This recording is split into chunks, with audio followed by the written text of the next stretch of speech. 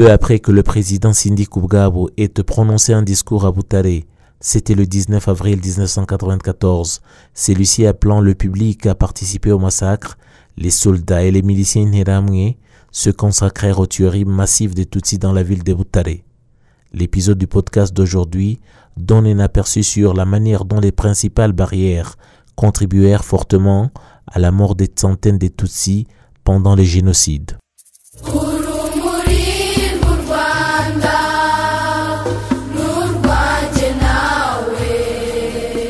Les faits marquants du génocide commis contre les Tutsis qui ont été exécutés le 19 avril 1994.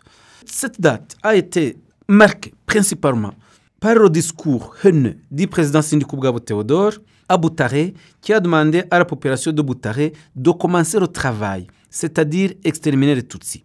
Puis, la nomination d'un préfet extrémiste, Sylvain Sabimana, qui devait mettre en œuvre le génocide à Boutaré. En effet, le 19 avril 1994, le gouvernement génocidaire a limogé le préfet Tutsi de Boutaré, Jean-Baptiste Habyarimana, qui avait essayé de lutter contre le massacre de Tutsi à Boutaré, et celui-ci a été menacé, évidemment.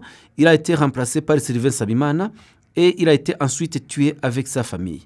Le nouveau préfet, Sylvain Sabimana, était membre du PSD Pawa. Il a été préfet de Boutaré pendant deux mois et a dirigé le massacre du 19 avril au 17 juin 1994. Le même jour, le président du gouvernement génocidaire, Théodore Sindikoubgabo, a donc appelé la population de Boutaré à commencer l'extermination de Tutsis. Et le gouvernement génocidaire a mis beaucoup d'efforts dans la mobilisation de la population pour tuer les Tutsis. Dans son discours prononcé à Boutaré le 19 avril 1994, le président Sindi Koubgabo a donc dit Ceux qui pensent que les théories ne les regardent pas doivent également être liquidés. Après quoi, c'était un ordre donné pour que l'extermination des Tutsis se poursuive en toute rapidité. Sindi Koubgabo Théodore était accompagné à Boutaré par des ministres extrémistes de son gouvernement, dont Justin Mugenzi, Mugiraneza Prosper et Pauline Nyiramasuko pour accentuer le génocide des Tutsis à Boutaré. À la même date, le massacre des Tutsis a eu lieu dans le secteur d'Ongoma, commune Kigembe, dans la préfecture de Boutaré. En effet, le secteur Ngoma, situé actuellement dans le district de Nyaruguru, ancienne commune de Kigembe, beaucoup de Tutsis s'y étaient réfugiés venant de plusieurs endroits, notamment ceux qui avaient survécu dans les massacres commis dans la région de Nyaruguru, notamment à Kibeho. D'abord le 16 avril 1994, certains d'entre eux sont arrivés à l'endroit appelé Ngomero, à la frontière, pour essayer de franchir la frontière pour se réfugier au Burundi en passant par la Kanyaru, et ils ont été repoussés par des miliciens inhéramés. Le lendemain, 17 avril 1994, ils ont été ramenés à l'arrière et rassemblés sur un terrain en Ngomero, un terrain de football. Le même jour, le préfet de Boutaré, Habyarimana Jean-Baptiste, nous l'avons dit, il est venu à cet endroit, mais le lendemain, il a été limogé.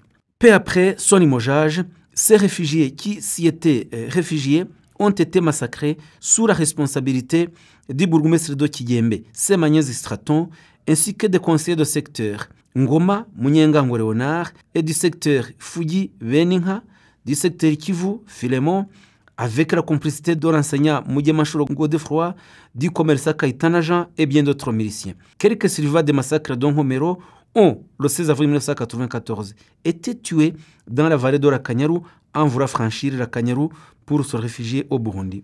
Les massacres ont également eu lieu toujours dans la même commune de Kigembe, mais dans le secteur Gachurabwenge. Les massacres ont eu lieu non seulement dans la commune de Kigembe, mais ils se sont également déroulés dans le secteur Gachurabwenge, cette fois-ci à Moussambira, dans l'actuel district de. En effet, dans le secteur Gachurabwenge, district de, de, de Kamonyi, à l'endroit appelé Kigembe, ancienne commune de Moussambira, de nombreux membres des clans Abatsobe et Abasinga y habitaient. Les Tutsis qui habitaient cet endroit Kigembe ont été tués en avril 1994 par des groupes de tueurs dirigés par le conseil Ndahayo. Attention, ne confondons pas Kigembe de Moussambira avec Kigembe de Boutaré dont nous venons de parler. Ce sont des endroits différents. À Kigembe de Moussambira donc, le premier jour, de nombreux Tutsis ont été tués. D'autres se sont cachés dans les broussailles. Pour débusquer ceci, ceux qui s'y étaient cachés, le conseiller Ndahayo a déclaré que la paix était revenue et les Tutsis sont sortis de leur cachette et se sont rassemblés chez le vieux Gatarabirwa. De nombreux Tutsis ayant appris que d'autres s'étaient rassemblés chez Rovier Gatarabirwa, décidèrent de les y rejoindre et leur nombre atteignit plus de 100 personnes. Ce jour-là, ils se sont rassemblés en grand nombre. Le conseil d'Ahayo est venu vers 13h de l'après-midi à la tête d'un groupe de tueurs qui comprenait aussi des militaires. Et notre groupe est allé attaquer d'autres Tutsis qui s'étaient réfugiés chez un notable Tutsi appelé Kabera. Le groupe de tueurs a amené les réfugiés Tutsis qui étaient chez Gatarabirwa et ils se sont rassemblés.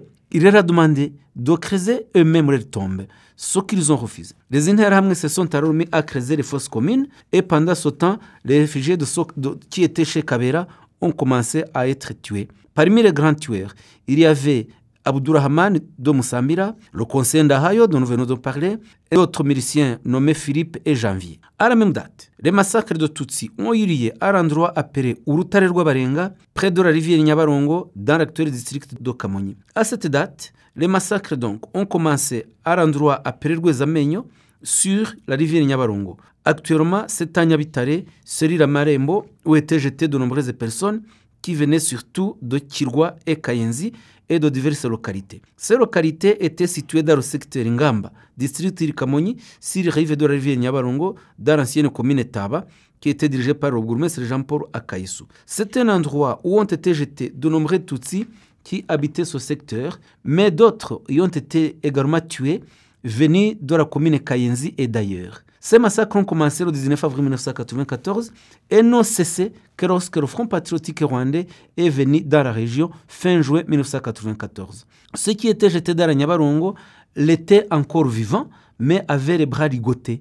Le nombre de ceux qui ont été jetés dans la Nyabarongo en Ngamba est important, car y étaient jetés les Tutsis venant de Lukoma, Kayenzi et Ngamba. Parmi les tueurs responsables des massacres dans le secteur Ngamba, sur la Nyabarongo, on peut citer Mutijima, secrétaire de la commune, Ruvugama Cyril, député qui s'est cependant limité à la commune sans aller plus loin, Rurangirwa qui était policier, Twagerezu Vincent alias Kagozi, Mbarubukeye qui était enseignant et beaucoup d'autres. Le même jour, le massacre de Tutsi a eu lieu dans le bois de Kabutare, à l'endroit appelé Kiabihinga, dans le district de Kamonyi, ancienne préfecture de Gitarama. L'endroit était appelé Kibihanga. Le bois en question était situé dans la cellule Muyangi, secteur de Kayumbu. Y ont été tués près de 100 Tutsis, dont des membres du clan des Abasinga qui habitaient à proximité et ceux venus d'autres localités. Le 19 avril, les Tutsis qui étaient cachés dans ce bois de Kibihanga ont été attaqués par des tueurs venant de Rutobwe et de Nyabikenye. Ils ont connu une mort atroce, tués à l'endroit de Gourdin et de Machette. Leurs corps ont été jetés dans des fosses creusées à cet endroit-là. Le même jour, le massacre de Tutsi a eu lieu au centre de Kamonyi à l'endroit appelé Kumasuka. En effet, le centre de Kamonyi est situé dans le village de Kamonyi même, dans la cellule de Nhingo, secteur Gachurabwenge, ancienne commune d'Ottawa. À ce centre, auquel on accède à partir de la route goudronnée vers la paroisse Kamonyi, que l'on dépasse pour arriver au centre de Nhuro, ont été tués de nombreux Tutsis pendant le génocide. Ce centre est à proximité de la colline Nyamugari, où il y avait un camp de déplacés de guerre venu de Kivuye, dans l'ancienne préfecture de Byumba. Ces massacres ont commencé autour du 19 avril et ont continué jusqu'à la consommation du génocide dans cette localité. Il y avait des barrières proches l'une de l'autre, l'une sur la route goudronnée, l'autre derrière la paroisse Kamonyi. Des Tutsis qui habitaient Kamonyi et Kigembe ont été rassemblés et massacrés près de la statue de la Vierge Marie devant la paroisse. Ils n'ont pas été tués dans l'église parce que l'abbé Pio Nahobari avait refusé, nous l'avons déjà dit, l'accès aux Tutsis. Le même jour, les massacres ont eu lieu à la paroisse d'Omushishiro, diyoseze do kabgayi perefegitere do gitarama akiteri disitirigiti do muhanga. Anefe aburinga o santire do kabadaha actuellement dans le village de Kabadaha, Serire Munazi, secteur Mushishiro, district de Muhanga, il y avait une barrière de tueurs. Avant le génocide, c'était dans l'ancienne commune Buringa. Dès le déclenchement du génocide, depuis le 9 avril 1994, dans le village de Kabadaha, où se trouvait le bureau de la commune Buringa, s'y sont réfugiés des Tutsis venus de la commune voisine de Kibirira. Ils ont été suivis le même jour par les Tutsis de la commune Buringa. Le bourgmestre de cette commune Buringa a escorté tous les Tutsis qui s'étaient réfugiés au bureau communal jusqu'à Kabgayi. Après, l'assistant bourgmestre nommé Ntabashwa Jean a dirigé les massacres des jours suivants. D'abord, une barrière qui était gardée par des militaires a été installée à ce centre, autour du 10 avril 1994, devant un petit hôtel appartenant à Karamira Frodoir, l'un des responsables nationaux du MDR et qui était originaire de cette région. C'est Karamira qui a distribué les armes qui ont été utilisées pour tuer des Tutsis. Cette barrière avait comme objectif de chercher et tuer les Tutsis qui venaient de différentes régions, que ce soit ceux qui voulaient se réfugier à Kabgayi et qui venaient de Kigali ou ailleurs. Sur cette barrière, ont été tués entre 100 et 200 Tutsis, lesquels étaient jetés dans une fosse près de l'hôtel de chez Karamira, qui était destinée à accueillir les restes de nourriture et autres déchets. Ceux qui sont allés récupérer le corps jetés dans cette fosse ont trouvé que ceci avait été mélangé avec les restes des animaux du bétail qui étaient abattus pour la consommation de l'hôtel. À part les Tutsis qui ont été tués à cet endroit, dans la commune d'Oburinga, il y avait plusieurs autres barrières, dont celle qui était près de la commune Buringa, au bureau communal, et une autre qui était située à Munazi, à Nyagasozi, à Nyagako et beaucoup d'autres endroits. Parmi les responsables de- des massacres de cette localité, on peut citer Nabashwa Jean, assistant bourgmestre, Karamira Frodoir, responsable national du MDR, Gasirbanyi Alexis, Munyankumburwa Faustin, Kamonyo, la Bendo Wabike Jérémy d'origine burundaise, le major Ukurikiyezu Jean Damascène, Nyaminani Félicien qui été bourgmestre de Buringa, Sebazungu Cyril qui était responsable d'une station électrogaz à et bien d'autres miliciens. À la même date, le massacre de Tutsis a eu lieu dans la commune Kayenzi à l'endroit appelé Gitwa, dans le district justement actuel de Kamonyi. En effet, depuis le 13 avril 1994, les Tutsis ont commencé à subir des attaques à Gitwa, ainsi qu'en cellule Kirwa, secteur Kayenzi. Des Tutsis s'étaient réfugiés chez un Tutsi qui était notable et directeur des écoles à Gitwa, qui s'appelait Ougirashebuja Félicien. Ils ont résisté depuis le 16 avril 1994 aux attaques qui venaient de Moussassa dans Gakenye, mais la situation a empiré lorsque les tueurs de Kayenzi se sont mis à attaquer les Tutsis. Une forte attaque a été menée le 19 avril 1994 contre les réfugiés Tutsis et elle a été repoussée par ces derniers. Une réunion s'est alors tenue à l'école primaire de Gitwa et était dirigée par Nkundiari Alphonse et le professeur Munyakazi Léopold. Cette réunion a été suivie par une nouvelle attaque sur les réfugiés Tutsis. Parmi les responsables des- massacres de Kayenzi, il y a le bourgmestre Mbaruke Jean, mais spécialement euh, parmi les tueurs de Kirwa, il y avait Mabarezi, Rwagakwandi, Hitimana Jean Damascène, Ruticu Mugamba Loise, Nzabanita Cyril, Nkundiyaremye Alphonse, Uwayezu Leonidas et beaucoup d'autres. À la même date, les massacres de la commune Muko, dans l'ancienne préfecture de Gikongoro, actuel district de Nyamagabe. En effet, le 7 avril 1994, il y a eu le premier massacre à Muko d'une dizaine de personnes à la paroisse catholique de Mushubi, préfecture de Gikongoro. Le 8 avril 1994, de nombreux Tutsis ont commencé à se réfugier au bureau de la commune Muko, tandis que d'autres se réfugièrent également à la paroisse catholique de Mushubi parce qu'ils avaient appris l'implication du bourgmestre Kayihura Robert dans les massacres de la paroisse Mushubi et qu'ils ne se sentiraient pas en sécurité au bureau communal. Ceux qui habitaient à proximité et qui ne pouvaient pas se rendre à Kadouha ont continué à se réfugier à la commune Muko, venant de différents secteurs de la commune et même d'une partie de la commune Musebeya. Le bureau de la commune Muko se trouvant en effet à l'intersection des deux communes Muko et Musebeya. Le 19 avril 1994, un autre groupe de tueurs, dirigé par le criminel notoire, surnommé Rukokoma, attaqua les réfugiés. Et les tueurs venaient en chantant Qu'est-ce que vous voulez? Et ils répondaient en chœur Où sont les Inyenzi À la. Pourquoi les cherchez-vous? Et de répondre Les exterminer. Les tueurs n'ont pas pu tuer les réfugiés sur place pour une raison qui n'est pas encore évidente aujourd'hui. Car qui gardaient la commune ont d'abord refusé de livrer les Tutsis. Le bourgmestre Kayihura Albert, ainsi que Moussonera qui était directeur des écoles primaires, et le milicien Rukokoma et beaucoup d'autres miliciens se sont rencontrés en réunion. Ils ont décidé de tuer en premier lieu les hommes et de tuer plus tard les femmes et les enfants. Le groupe de tueurs s'est retiré et les réfugiés ont cru avoir survécu ce jour-là, alors que les tueurs prévoyaient d'attendre les réfugiés à mi-chemin à Gashkwati. Les hommes et les jeunes furent embarqués alors dans trois véhicules qui étaient censés les amener en protection à la paroisse Kadouha. Arrivés à 3 km plus loin, à Gashwati, ils y ont trouvé des tueurs qui les attendaient et qui les ont tous tués à l'armée traditionnelle. Il n'y eut qu'un seul survivant à ce massacre. Tous les autres ont été tués par le grand nombre de tueurs qui encerclèrent les véhicules. Les femmes et les enfants qui étaient restés à la commune ont survécu dans les conditions les plus atroces, les femmes étant notamment violées. Le 19 avril 1994, près de 500 femmes et enfants furent amenés par les tueurs, dirigés par Munyarihamye Pascal, qui était responsable de la cellule Mouchoubi, et furent tous tués au centre de santé de Mouchoubi.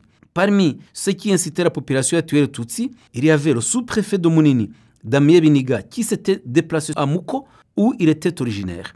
Il y avait aussi le bourgmestre de Mouko, Kaihura Robert, Moussoner Etienne, directeur de l'école primaire de Rugano, qui a été aujourd'hui condamné à 15 ans de prison, ainsi que les conseillers et responsables des cellules, dont Hakizimana, conseiller de Sovu, et autres tueurs, parmi lesquels figuraient C. Kanyambo, Muberandinda, Mbaraga, Habimana, Kanyamanza, Rukokoma, Munyabihame, Muberandinda, Munyembaraga, Ruhigisha, Sebera, Aloïs et bien d'autres.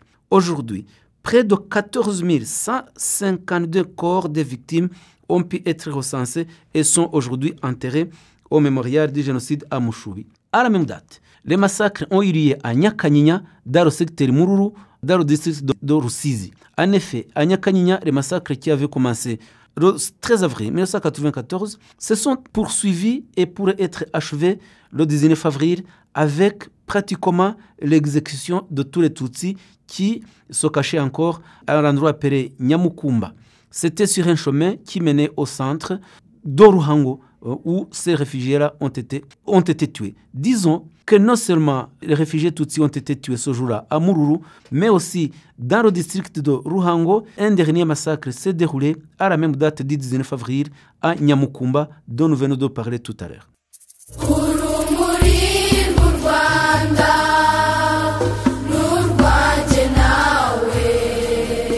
Merci d'avoir écouté ce nouvel épisode du podcast Kwibuka.